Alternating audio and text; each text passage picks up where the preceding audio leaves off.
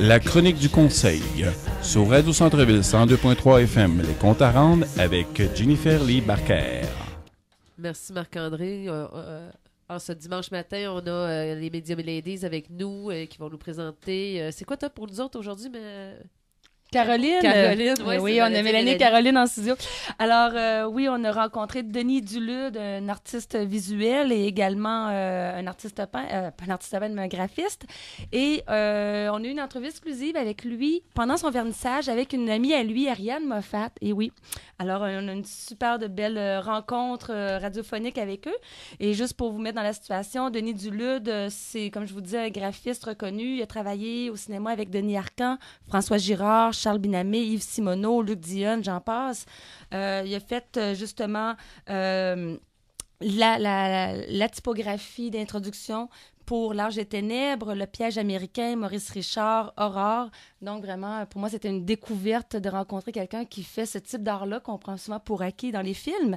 Et Denis enseigne également la typographie à l'Université du Québec à Montréal. Alors, on entend dès maintenant l'entrevue. Les médias Ladies s'entretiennent aujourd'hui avec Denis Dulude, typographe de profession, qui présente sa toute dernière production intitulée Typochondriaque, la suite, à la toute nouvelle galerie d'art contemporain Espace 40 à Brossard. Et c'est Ariane Moffat, qui est nulle autre que la présidente d'honneur de l'événement. Denis Dulude, typographe de profession, on est aujourd'hui au vernissage de ton exposition intitulée Typochondriaque, la suite. Comment euh, on définit ça, un typochondriaque? Toute une question. Mais peut-être quelqu'un qui est trop maniaque de la typo. Peut-être. euh, tu sais, c'est.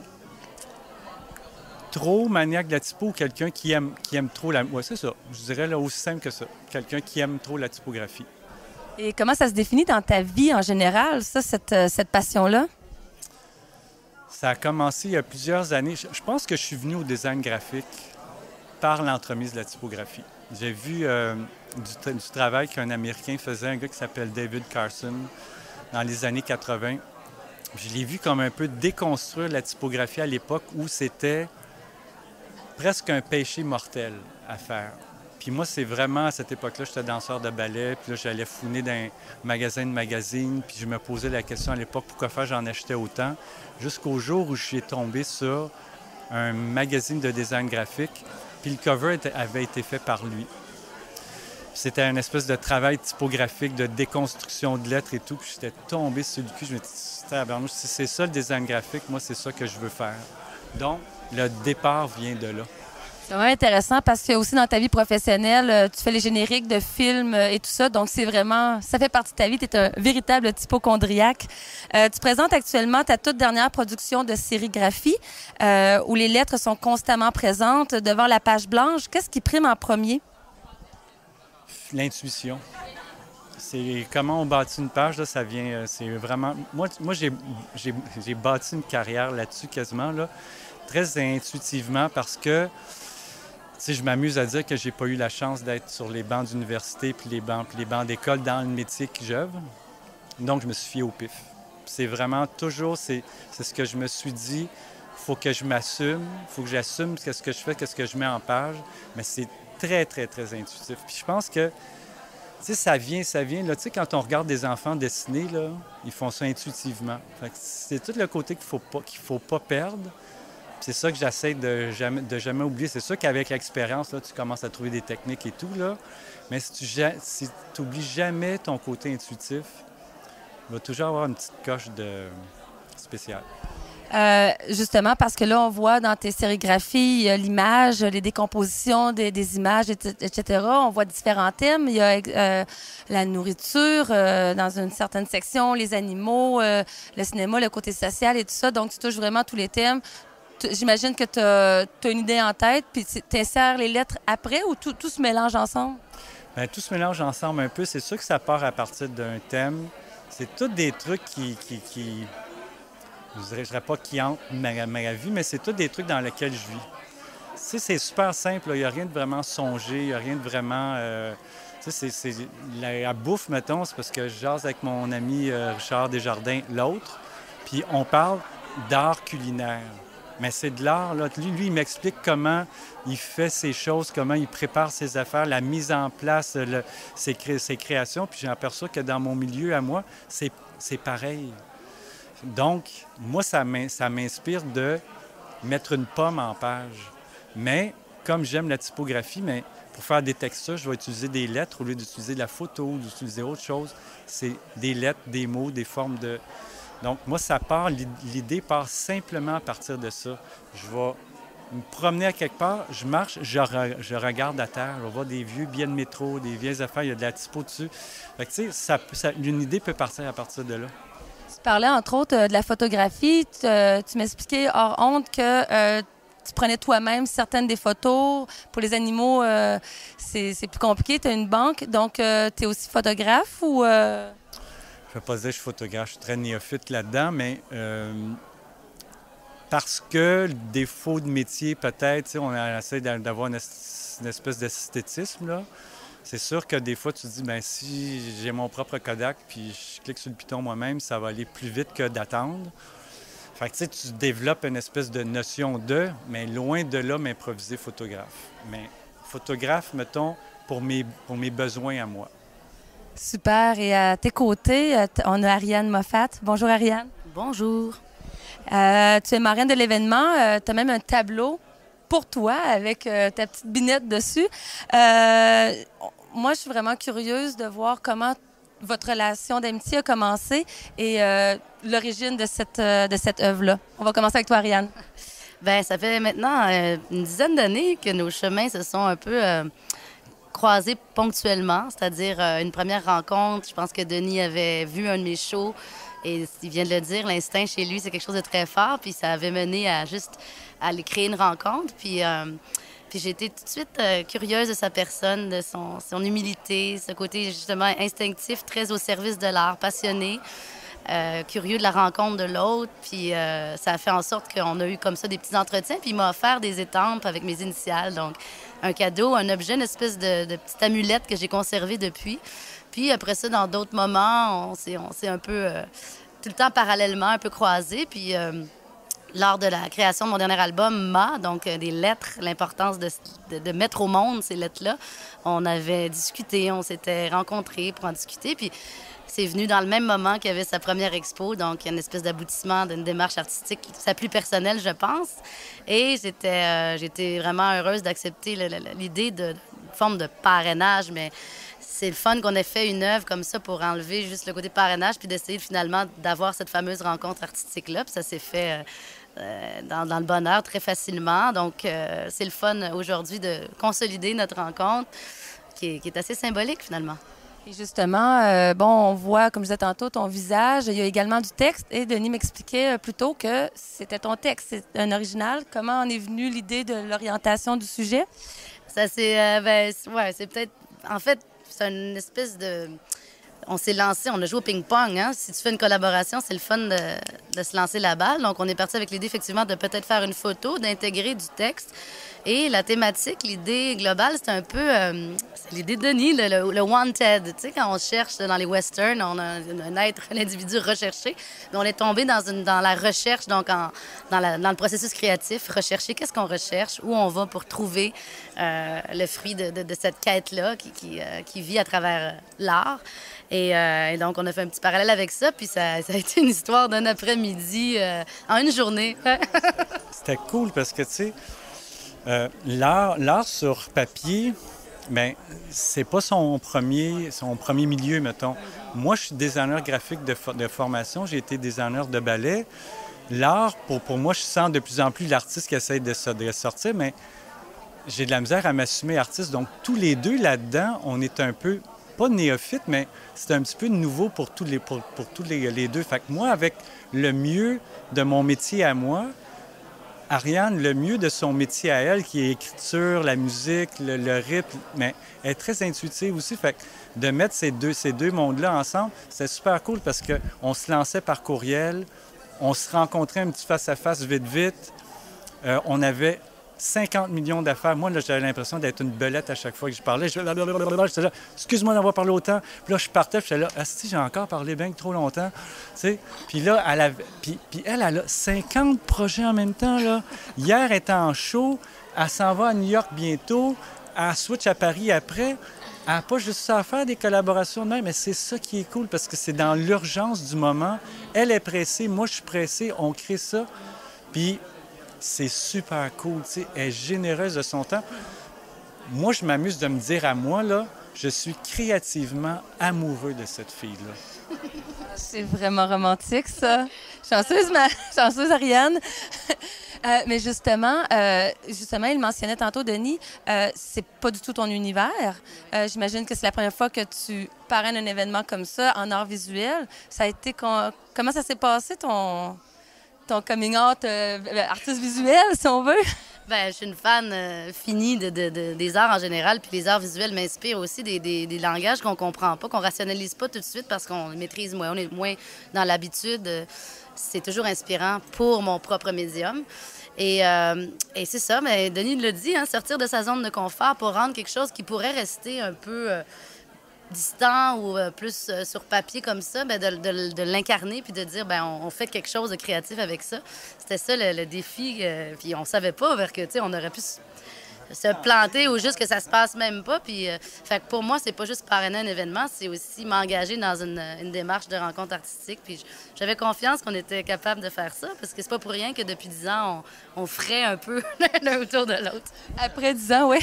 Ouais, non, c'est ça, j'avais un feeling. Moi, la minute où, sais, sans trop rentrer dans le détail, comme Ariane disait, on s'est on s'est rencontrés suite à, son show Aquanaut, puis moi, j'étais assis au show, puis elle m'a enveloppé dans son univers musical. J'avais zéro idée que ça me ferait cette- cet effet-là. Puis de voir qu'elle a, hein, on, peut, on, peut, on peut le dire, t'as un petit euh, sigle typographique de, tatoué sur l'épaule. Je me suis dit, Vraiment. oui. Je me, je me suis dit, elle doit avoir quelque chose avec la typographie, c'est sûr. Tu sais, là, si tu fais pas. non, c'est sûr que c'est un A pour Ariane, sûrement, là. Mais tu sais, c'est. Ouais, c'est ça. Puis c'est. Tu sais, donc, c'est sûr qu'il y a quelque chose de spécial. là. Elle doit aimer l'environnement graphique. Puis après avoir eu la chance d'aller quelques fois chez elle, c'est sûr, tu regardes ce qui est sur les murs, la décoration chez elle, son univers de vie. Tu sais, on pense pareil. Ouais, il y a du visuel là-dedans, là, tu sais, là. Ben, en tout cas, une chose est sûre, cette rencontre-là a été un succès parce qu'avoir les œuvres, avoir l'œuvre, entre autres, que vous avez travaillé ensemble, euh, bravo. Puis Ariane, continue à encourager l'art visuel, on, aime ça. Et Denis, continue ton beau travail. Longue vie à, l'artiste et aussi au, typo, au. Alors, je rappelle euh, pour tout le monde que l'événement, euh, le vernissage a lieu à l'Espace 40, la Galerie d'art contemporaine euh, Comptoir d'ailleurs, au 7200 boulevard du Quartier, suite 40 à Brossard. L'exposition se poursuivra jusqu'au 30 juin 2012.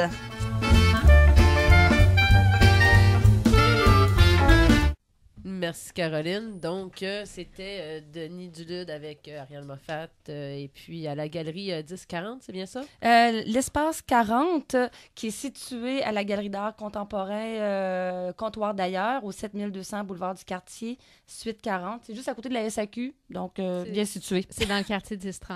Oui, exactement, le quartier du Ah, 30. c'était là mon mélange, c'est ça. Et puis, l'exposition est jusqu'à quand?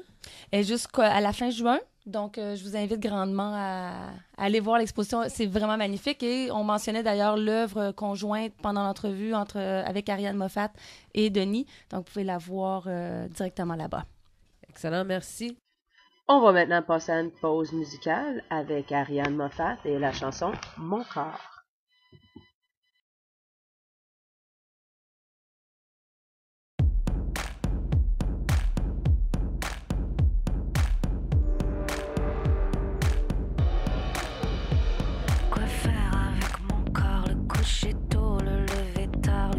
Faire le sport.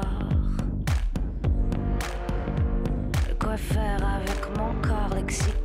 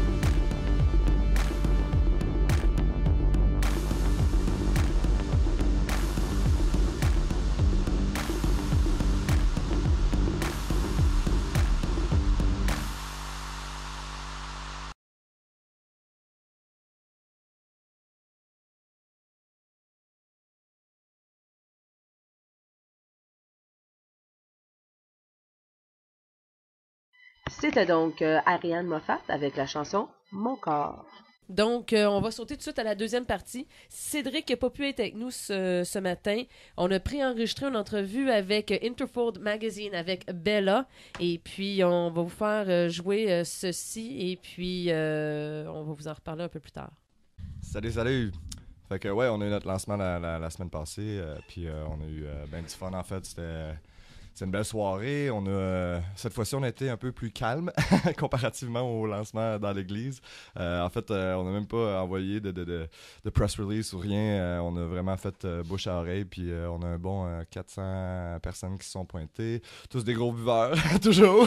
Tout le temps le fun. On avait aussi une peinture en direct. où on avait cinq de nos artistes, trois de ce magazine-ci, dont Clock Shovel, Antoine Tavaglione, puis X-Ray, avec Dave Totaro du numéro euh, 2 et... euh, Ah non, du numéro 4. En tout cas, je, suis peut-être mêlé dans mes numéros, là. il y en a beaucoup. numéro 16 maintenant. Euh, et Martine Frossard aussi, qui était là en peinture direct. On a fait une, une, euh, toile musicale, en fait, euh, où chaque artiste euh, passait 20 minutes sur euh, une toile, puis après ça, on, on les switchait sur eux autres jusqu'à temps que tout le monde a passé euh, 20 minutes sur chacune des toiles, puis on les a mis à l'encan après. C'était euh, un franc succès. On va sûrement refaire ça. Je pense que le Cabaret du Myland n'a jamais été mieux habillé euh, que quand, euh, ben, en fait, Jen, t'es euh, t'es remercié pour ça. Toi et ton équipe du Conseil des artistes, là, vous êtes euh, fabuleux Plaisir. pour habiller les salles. là. Fait que non, c'était vraiment une belle soirée. Puis on a eu, on a eu beaucoup d'aide aussi parce que maintenant on a deux nouvelles stagiaires chez Discover Magazine, dont Bella Giaconta. Giancotta. ok. Puis euh, Bella, en fait, fait, euh, fait un bac en histoire de l'art à Concordia avec un mineur en français. Donc, euh, merci, Bella, de t'intéresser à notre, notre langue. Mais pour, pour ce qui est de notre entrevue aujourd'hui, on va faire ça en anglais compte tenu du temps. On a six minutes avec toi, Bella, pour que tu nous parles, en fait, de ton magazine à toi. Tu, tu, viens, tu viens te joindre à l'équipe de Discover Magazine, mais tu as ton propre magazine qui s'appelle Interfold. So, if you want to just tell us about Interfold a bit, uh, uh, the distribution run, uh, the type of artist, the mission, and uh, whatnot. All right. So Interfold was started in September of 2011 by myself and a friend.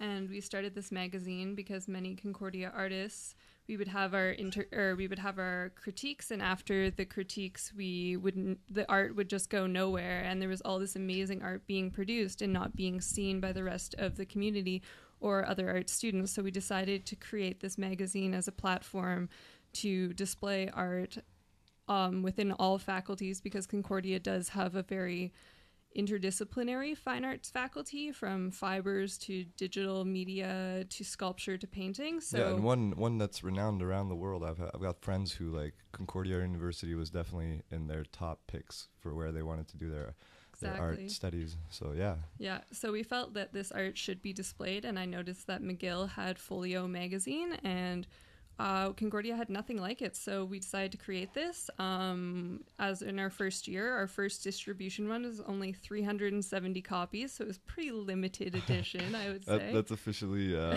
six point something percent of the, the cover, and we're still small. So yeah, okay, a, a very hard to find magazine, so collectible right away. Exactly, yeah. awesome. limited edition. and this is a free magazine, of course. It is a free magazine. We run completely on grants. Our second publication was um, 500, so we bumped it Oh, up a little bit. Almost. yeah, so we run on grants, and yeah, everyone's working for free, and we've um, managed to make a pretty incredible publication considering. So Yep. And the difference a bit between the two magazines, uh, uh, aside from one being a school run and, and the other mainstream, is uh, basically you guys showcase one piece of art and you have a text about the piece of art that's being displayed right next to the piece, as opposed to the cover where we showcase a bunch of art and have a, uh, a text about the, the artist and their art. Uh, you guys, your text is only about that particular piece, which I think is very interesting. And you have your uh, artist statements at the end. So Yes, that was that was what you was that your move? You decided to have it Um, that way? the first one, we didn't include any text on the page, and we wanted to let the art speak for itself. But then we found many people asking specific questions about each work, and the artist statements weren't really suffice. So we decided to include artist statement or project statements on each page, which kind of just gives um, the viewer a little bit of background about the piece and um, some people's processes and how they create are so interesting that we felt that it needed to be included. Yeah, totally. No, I, I love it, and uh, and the artist statements at the back. It's not like you know, if, if, if you do want to know more about the artist, you go to the back of the magazine and then, you know, you're set up with the name of the artist. If, it's just like the cover. I, I think it's brilliant to put the emphasis on the image rather than the text. It's always nice, some accompanying document or whatever, but I think that the image, you know, it's worth a thousand words. So. yeah. So what are what are your plans this year with the uh, with the magazine? Well, we are certainly looking to make uh, Interfold a fee levying organization within Concordia and bring together. Right, and for those who don't know quite what that is, that Um, means that means each that we- students would pay a couple cents towards Yeah. the magazine and their yeah, tuition. it's like uh, some people take like 20 cents per student and then they're able to fund themselves a little bit more. We might, you know, we're, we're looking to ha- make that happen. There's no guarantee. It's quite the Right. process. Did you do the math a bit? Oh, I did, I if one did. cent per Oh, student gosh, gets given to me, it's this much. Oh, if yeah. two cents. oh, it, it was uh, it was a lot of math, and we're still not quite set on that number because there's only about three thousand one hundred students in Right. fine arts. So Right, right, right. We'll see what we end up with. whatever whatever you get is a bonus right because this magazine ran without that all last year but i Yeah. do hope that you take your distribution run up that's that's for sure I'd love like to. yeah and uh and you know we've been we've been brainstorming a bit uh, we're we're we're really happy that you're on the team by the way like somebody that that already runs a magazine and has a focus on on the grants is is priceless for us and so we're very happy that you're with us for a couple months. And uh it's gonna you know your your time with us uh will go on to uh this year uh the school year. And uh we've been brainstorming a couple of you know, little events we might throw, including uh, maybe a D cover versus uh, Interfold magazine event, Mm, Yeah. which would pit uh, the university students against the uh, D cover artists uh, in a show and maybe some uh, some live painting around there. Uh, maybe put that into the uh, schedule for for Frosh Week. So Certainly. we'll uh, keep everybody posted on that. Over the summer, I guess, is going to be decided, and then. Yep, lots lots of work to do this summer. and your next launch date would be when? Well, we're looking at November. It's not set in stone yet because it's going to depend on how much money we have. Right. But uh, Are you, definitely uh, mid-November is what we're aiming for. You're going to keep the same model. Uh, certainly, um, we've had so much success with it this far. I know my graphic designer is just over the moon with ideas right now and Great. just shooting one different one out every week. So we'll see what happens. Same number of artists. Um, maybe we Yeah. gotta we gotta see. You to Gotta see what, what kind of artists is, Yeah. are, are in school this year. Exactly. And um, okay, so November, and uh, you guys have made your team already, so you're yes, not looking for anybody just else. hired and had our first meeting last Beautiful. Sunday. There was ten of us crammed in our living room, and it worked out really well. We had brunch together and talked about the next coming year, and everyone's really excited. Uh, if you want to give uh, our listeners, a, uh, you know, key links to go check out for Infold. Yeah, you can check us out on Facebook. It's Interfold Magazine, as well as on our Twitter as well. And our website is www.interfoldmagazine.com. Cool. Well, everybody, keep an eye out. Uh, we will for sure be collaborating with Interfold during the year, and uh, we are very much looking forward to the new edition coming out in November. Thank you very much. Oh, thank you for having me. Merci, merci. Ciao. Donc, on, euh, c'était euh, Cédric avec Bella, qui a l'Interfold Magazine, qui est une revue qui vient de Concordia University. Euh, ils sont à leur deuxième tirage, et puis... euh, C'est une revue qui est bimensuelle et c'est les étudiants euh, de Concordia qui sont présentés euh, dans la revue. merci beaucoup. Et puis, euh, bon, euh, Mélanie, elle a quelques petites nouvelles pour nous. Des petites annonces. Allez, Mel. Super petites annonces euh, du domaine des arts visuels à Montréal. Alors, on a euh, l'exposition de Frédéric Ouellette, l'exposition Descendance à la galerie Zéphyr. Le vernissage a lieu jeudi le 24 mai. La galerie Zéphyr, c'est au 21-12 Amherst à Montréal. C'est toute une, une toute nouvelle collection. euh, vraiment, on voit l'artiste évoluer. Donc, euh, Est-ce qu'on se compare de petits formats ou c'est généralement des grands Ah, Il y a des formats? grands formats à l'intérieur de l'exposition. Oui, alors ça vaut la peine de se déplacer parce que... Oui, oui, c'est vraiment, ça sort de l'ordinaire de ce qu'on est habitué de voir et avec Frédéric. Et c'est vraiment une, c'est très personnel, cette exposition-là.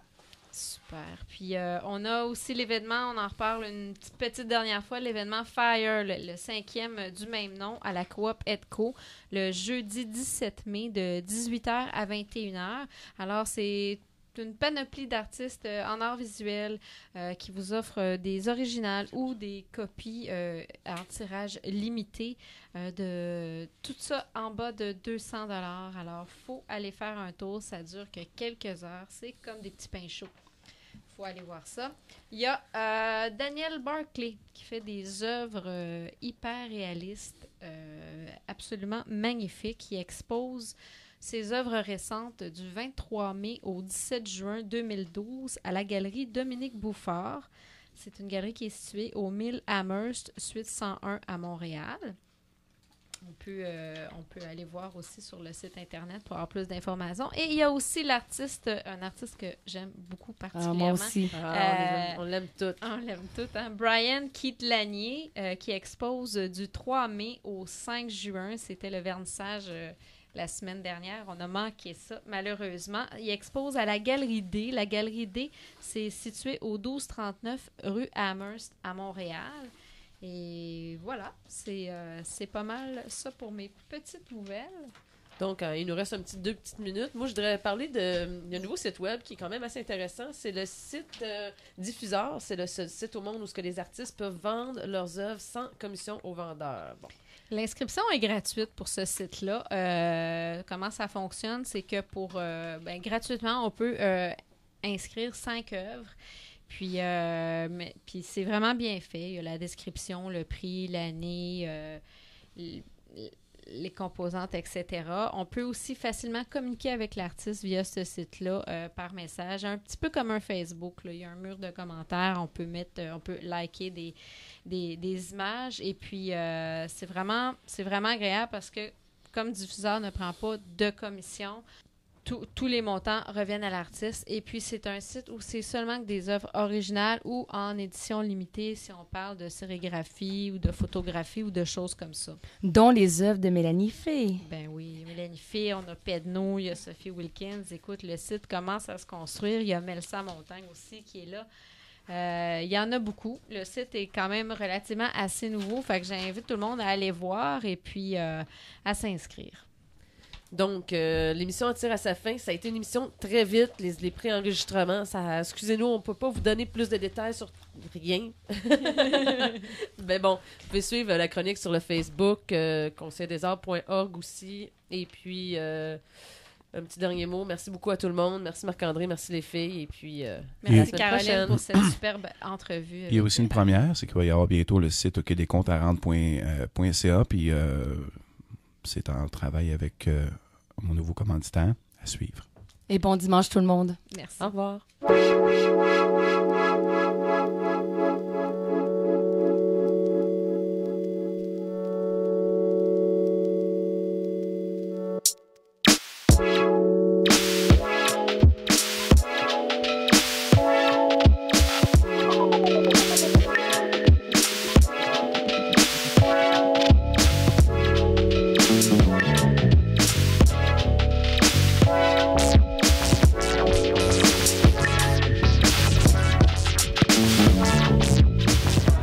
Grilled cheese. Grilled cheese. Grilled cheese. Oh, you want me to talk about the grilled cheese? I can talk all day about these grilled cheeses. Pretty specific subject matter. This grilled cheese is fucking fantastic. I'm waiting on my gluten-free grilled cheese. Uh, should be good. I'm hoping. When you? I was like, yo, what the hell am I doing? I'm eight years old again. Best I've ever had. And I'm down with being eight years old again because you have you have no cares in the world. It's pretty good. It was delicious. Uh, how does this grilled cheese compare to other grilled cheeses? Uh, the cheese was cheesy. Better than chips. it was definitely a nostalgic grilled cheese. I like wheat bread, but it doesn't taste good with grilled cheese. Can I get back to you? I got a beer, I got some grilled cheese, and that's all I need. Well, you heard it first.